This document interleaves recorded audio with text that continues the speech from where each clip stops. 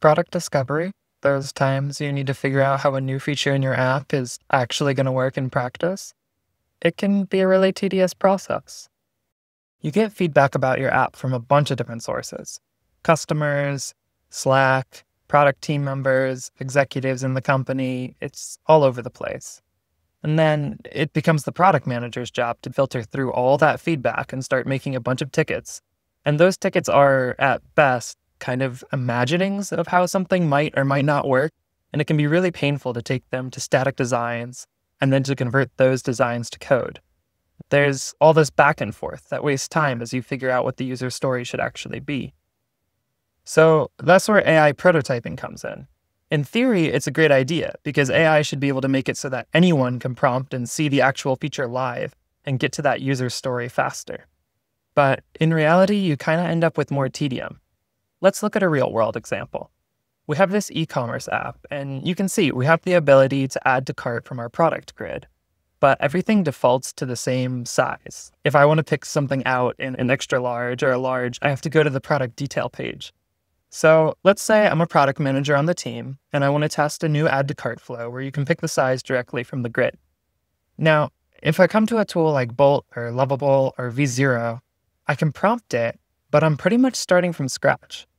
I probably don't have an existing Figma design to import, and the best I can do is just screenshot the existing page in the app and hope the tool can remake it and maybe I can upload a zip folder of the code. But let's say I do all that work. Well, what happens the next time I want to prototype something? I have to keep this AI tool up to date every time there's a change in the repo. Even when I finally get to prototyping the feature itself, I'm not working with my real components. So everything looks kind of off, and the design's got to be totally redone, and the developers have to code up something new. So even though you've got all this great stuff from your team's existing code base that you could use, you end up working alone. And you still have all these handoffs from prototype to design to actual code, and then all the back and forth between those different states. The alternate way we have is to work with Builders Fusion, which is specifically designed for production grade prototyping with AI. Let me show you how it works. I can come into Fusion and go to the shared project for our site. You can see this connects to my team's actual GitHub repo.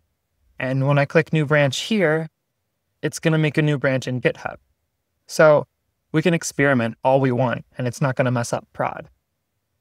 Once it's open, I can fully interact with the existing site. I'm not having to start from scratch every single time I want to prototype. This branch was just cloned from our main production branch, so it's totally up to date. Anyway, let's write a prompt. Improve the Add to Cart button on each product in the grid so users can pick a size as they add a product to their cart without having to go to the PDP. Anything the agent does here, it's going to do with our real UI components. It's always going to check if it can import some existing UI or functionality before ever creating anything new. Under the hood, when we set up this repo, we told Fusion about our design system, how to index it to understand what tokens and components we have. This particular repo uses ShadCN, but you can use anything material design, Daisy UI, Chakra, your own custom stuff. It doesn't matter. The agent can index and understand anything, and then it's going to use it. It can even look up docs for the super obscure stuff. So once that's done, we can see our feature is working already. There's definitely some tweaks to be made still in animation and spacing, but that's why Fusion is a multiplayer environment. What we have here is way better than a product requirement doc or a Jira ticket. It's actual code that our designers and devs can get their hands dirty with. And we can hit the make PR button, and you're going to see this is real mergeable code ready for review in our production repo. But okay, let's say we do want to iterate on this more. For a designer, they can work right within Fusion by switching to this design mode. And then that lets them grab anything on the page and visually adjust it, just like they would in Figma and they can hit apply changes, and the agent writes those visual changes to code. Sometimes, though, your designer is just going to want to work with something in Figma, and that's no problem because we can just use the Builder Chrome plugin to export this code to Figma, where designers can make the tweaks they want, and then we can use the Builder Figma plugin to import the design right back into Fusion. So you can round trip at any point and all your tokens stay in sync. Finally, when it's time for the developer to actually finesse the code, they can use Fusion right inside their IDE of choice. Here, I have the Fusion extension installed in Cursor, and I can use the Fusion agent to keep iterating and making all these changes that I can visually keep track of, or I can just jump into Cursor and edit the files directly. But the important part for devs is they don't have to redo edge cases 50 times or have all this back and forth because the product manager already figured out the user story and the designers already figured out how everything should look in code. And even after the developer finishes coding, if designers or PMs do want to make a small tweak down the road, Fusion is really good at these one or two line PRs where the AI doesn't overwrite all the hard development work, but it just targets exactly what needs to be targeted. And then all of it syncs back to the existing PR.